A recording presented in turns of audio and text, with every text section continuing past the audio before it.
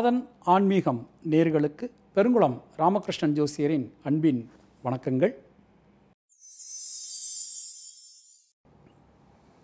ராஜகிரகம் என்று அழைக்கக்கூடிய சூரியனை ராசிநாதனாக கொண்ட சிம்மராசி அன்பர்களே இந்த மார்ச் மாதத்தில் குரு பகவான் உங்களுடைய சுகஸ்தானத்திலும் பஞ்சம பூர்வ ஸ்தானத்தில் சனி கேதுவும் ரண ருண ரோகஸ்தானத்தில் சுக்கரனும் சப்தம கலத்திரஸ்தானத்தில் உங்கள் ராசிநாதன் சூரியனுடன் புதனும் பாக்யஸ்தானத்தில் செவ்வாயும் லாபஸ்தானத்தில் ராகுவும் என கிரகங்களுடைய சஞ்சாரம் அமைந்திருக்கிறது.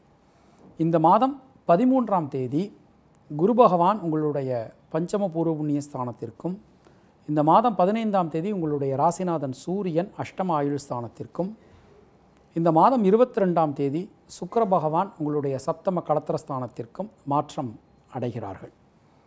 மற்ற எந்த கிரகத்திலும் எந்த விதமான மாற்றங்களும் இல்லை. குரு பகவான் அதிசாரமாக உங்களுடைய ராசியை ஒன்பதாம் பார்வையாக பார்க்கிறார். இந்த மாதத்தை பொறுத்தவரை எந்த ஒரு விஷயத்தை செஞ்சாலும் கொஞ்சம் கவனத்துடன் செஞ்சாலே போதுமானது.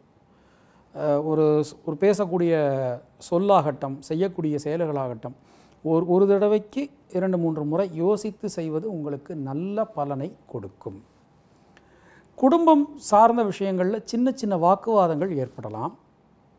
கொஞ்சம் விட்டு கொடுத்து போகிறது உங்களுக்கு நன்மையை கொடுக்கும். பணம் சார்ந்த விஷயங்களில் ரொம்ப ரொம்ப கவனமாக இருக்கணும். தேவையற்ற ஆடம்பர செலவுகளை குறைத்து கொள்வது நன்மையை கொடுக்கும். குழந்தைகள் சார்ந்த விஷயங்களில் நீங்கள் எந்த ஒரு முடிவெடுத்தாலும் அந்த விஷயம் நல்லபடியாக நடந்து முடியும். குழந்தைகள் உங்களுக்கு ஆதரவாக செயல்படுவார்கள். குழந்தைகளுக்காக நீங்கள் எடுக்கக்கூடிய முயற்சிகள் இப்போ உதாரணம் உங்கள் குழந்தைகளுக்கு வந்து ஒரு நல்ல கல்வி சார்ந்த விஷயங்களோ இல்லை ஒரு திருமணம் சார்ந்த விஷயங்களோ சில பேருக்கு வந்து குழந்தை இருக்காது அவங்க வந்து குழந்தை வேணும்னு சொல்லி சில ட்ரீட்மெண்ட் எடுக்கிறது அதெல்லாம் நன்மையை அளிக்கக்கூடிய ஒரு அற்புதமான காலகட்டம். உடல் ஆரோக்கியத்தில் கொஞ்சம் கவனமாக இருந்துக்கணும். முக்கியமாக கண் சார்ந்து சில பிரச்சனைகள் ஏற்படலாம். வண்டி வாகனங்கள் பயன்படுத்தும் போது அதிக வேகம் கூடாது ரொம்ப ரொம்ப கவனமாக இருந்துக்க வேண்டிய ஒரு காலகட்டம். பணம் சார்ந்த பிரச்சனைகளில் யாரையும் நம்பி பணம் கொடுக்கும்போது அவங்கள பற்றி நல்லா தெரிஞ்சால் மட்டும் பணம் கொடுங்க. இந்த மாதம் முற்பகுதி தொழில் உத்தியோகம் சார்ந்த விஷயங்களில் சில சிக்கல்கள் இருந்தாலும் இந்த மாதத்தின் பிற்பகுதி மிக மிக அற்புதமாக இருக்கிறது. தொழிலில் ரொம்ப ரொம்ப சிறப்பாக இருக்கும். இவ்வளவு நாளாக வர வேண்டிய பணம் பின்பாதியில் கண்டிப்பான முறையில் வந்து சேரும். பதினொன்றாம் இடத்துல ராகு பகவான் இருக்கிறதுனால மூத்தவர்களிடம் பேசும்போது கருத்து தெரிவிக்கும்போது ரொம்ப ரொம்ப கவனமாக இருக்கணும். பெண்களை பொறுத்தவரை திருமணம் சார்ந்த விஷயங்கள் இந்த மாதம் பதிமூன்றாம் தேதிக்கு பிறகு நல்ல முறையில் நடைபெறும். சுப நிகழ்ச்சிகள் மிக அற்புதமாக நடைபெறும். மாணக்கர்களை பொறுத்தவரை கல்வி கல்வி ஸ்தானத்தை அதனுடைய அதிபதி செவ்வாயை தனது எட்டாம் பார்வையினால் பார்க்குறார். கல்வி ஸ்தானம் மிக மிக மலிவியாக இருக்குது கல்வியில் நீங்கள் நல்ல சாதனைகளை நீங்கள் புரிய முடியும் புரிவீர்கள். மகம் நட்சத்திரத்தில் பிறந்தவர்களுக்கு குலதெய்வத்தினுடைய அனுகிரகம் முன்னோர்கள் ஆசீர்வாதம் மிக பரிபூர்ணமாக அமைந்திருக்கிறது. எந்த ஒரு விஷயத்தை எடுத்தனாலும் இந்த விஷயம் சக்ஸஸ்ஃபுல்லாக நடந்து முடியும். பூரம் நட்சத்திரத்தில் பிறந்தவர்களுக்கு முதல் பகுதி இந்த மாதத்தினுடைய முதல் பகுதி கொஞ்சம் சிரமமாக இருந்தாலும் பிற்பகுதி உங்களுக்கு யோகம் அளிக்கக்கூடிய வகையில் அமைந்திருக்கிறது. உத்திரம் நட்சத்திரத்தில் பிறந்தவர்கள் வண்டி வாகனங்கள் பயன்படுத்தும் போது ரொம்ப ரொம்ப ஜாக்கிரதையாக பயன்படுத்தணும். அது மாதிரி உடல் ஆரோக்கியத்தில் ரொம்ப ரொம்ப ரொம்ப ரொம்ப கவனமாக இருந்துக்கணும். நம்மளுடைய போரூர் பக்கத்தில் இருக்கக்கூடிய குளப்பாக்கத்தில் அகத்தீஸ்வரர் ஆலயமானது அமைந்திருக்கிறது. அந்த ஆலயத்திற்கு சென்று வழிபாடு செய்து வருவது உங்களுக்கு சிறந்த பரிகாரம். ஆதித்ய ஹிருதயம் சொல்லி தினமும் சூரியனை வணங்குவது. ஆதித்ய ஹிருதயம் வந்து ரொம்ப ரொம்ப ஒரு வலிமையான மந்திரம். அந்த மந்திரத்தை வந்து நீங்கள் சொல்ல முடியாட்டாலும் குறைந்தபட்சம் கேட்கவாது செய்யுங்க. சூரியனுக்கு ரொம்ப ரொம்ப ரொம்ப ரொம்ப ரொம்ப ஒரு உகந்த பரிகாரம் அந்த ஆதித்ய ஹிருதய மந்திரம்.